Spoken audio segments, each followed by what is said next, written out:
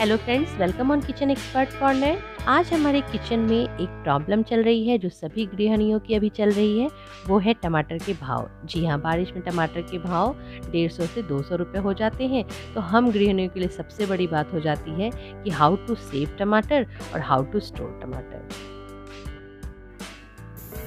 इसके लिए मैंने टमाटर लिया है।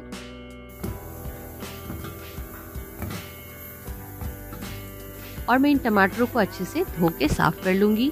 और मैंने स्टीमर में पानी गर्म कर रखा है और उसके ऊपर मैं ये स्टीमर लगा दूँगी। ढक्कन लगा दिया मैंने और टमाटरों को मैं बेसिकली स्टीम कर रही हूँ।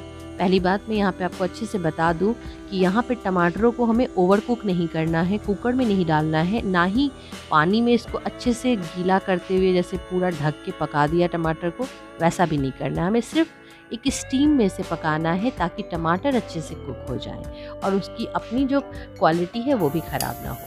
तो बस इस टमाटर को हम निकाल लेंगे। थोड़ा ठंडा हो जाने के बाद मैं आपको निकाल कर दिखाती हूँ कि ये कितना अच्छा सा हो गया है। ये देखिए, ये काफ़ी अच्छे से पक गया है और काफ़ी अच्छे से कुक हो गया है ये। और आप चेक भी कर सकते हैं। अगर आपको लगे कि ये नहीं पका है तो थोड़ी देर और पका लीजिए। पानी का अंदाज देख लीजिए आप कितने पानी को रखा है आपने जिससे कि अच्छी स्टीम बन पा रही है या नहीं।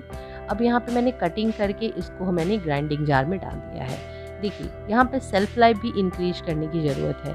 तो मतलब इसकी पौष्टिकता भी रहे और ये बरकरार भी रहे, इसके लिए मुझे क्या करना पड़ेगा? इसके लिए मैंने इसे अच्छे से ग्राइंड कर लिया है। बहुत ज़्यादा मिक्सी नहीं चलानी है, बहुत ज़्यादा पतला नहीं करना है। बिल्कुल सिंपल रूप से बस पीस लेना है मीडियम रूप से। देखिए ये पिस के आ गया, पर मैं इस टमाटर को ऐसे नहीं रख सकती। अगर मैंने इसको फ्रिज में रख दिया तो ये ख़राब हो जाएँगे। ये देखिए, इसकी सेल्फ लाइफ इंक्रीज करने के लिए मैंने लिया है आइस ट्रे। ये सिलिकॉन मोल्ड आइस ट्रे है, आप चाहें तो नॉर्मल आइस ट्रे में भी इसको अच्छे से पोर कर सकते हैं। और आपके पास अगर चॉकलेट के अगर ऐसे पड़े हुए हैं सिलिकॉन मोल्ड तो आप उनको भी यूज़ कर सकते हैं। तो बस, इन्हीं में मुझे डालना है।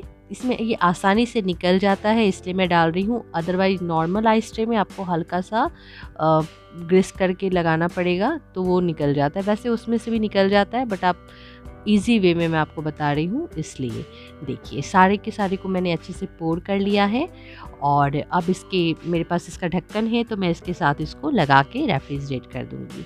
इससे फ़ायदा ये होगा कि इसकी सेल्फ़ लाइफ जो है ना, वो एट टू टेन डेज़ के लिए बढ़ जाएगी। एक तो सबसे बड़ी बात कि मैंने सिर्फ़ पाँच टमाटर से इतने सारे आइस क्यूब बनाए हैं, जो कि आप देख सकते हैं, लगभग आधे टमाटर के बराबर एक आइस क्यूब को हम यूज़ कर सकते हैं। ये देखिए, मैंने दाल का तड़का बनाया है तो इसमें मुझे आधा टमाटर डालना था तो मैं ऐसे समय में तो आधा टमाटर यूज़ कर ही नहीं सकती, है ना? तो बस, देखिए, वो भी एक अच्छा सा हमारा काम हो गया। और ये देखिए, आलू परवल की सब्ज़ी में भी मैंने इसको यूज़ किया है। तो फ्रेंड्स, सिर्फ़ पाँच टमाटर से मैंने एक आइस ट्रे भर के टमाटर के क्यूब्स बना लिए हैं, जिसे मैं कभी भी किसी भी रेसिपी में आराम से यूज़ कर सकती हूँ। आपने आगे देखा कि मैंने सिर्फ़ आधे टमाटर को भी बहुत अच्छे से यूज़ कर लिया। तो इससे बचत भी हो गई और कहते हैं ना, बरकत भी हो गई। तो फ्रेंड्स अगर आपको ये रेसिपी मेरी अच्छी लगी है तो प्लीज़ लाइक कर दीजिए शेयर कर दीजिए। अगर पहली बार देख रहे हैं तो सब्सक्राइब कर लीजिए विद बेल आइकॉन ताकि आपको ऐसी रेसिपी मिल सके। और आप मुझे फेसबुक और इंस्टा पे भी ज्वाइन कर सकते हैं। Thanks for watching bye bye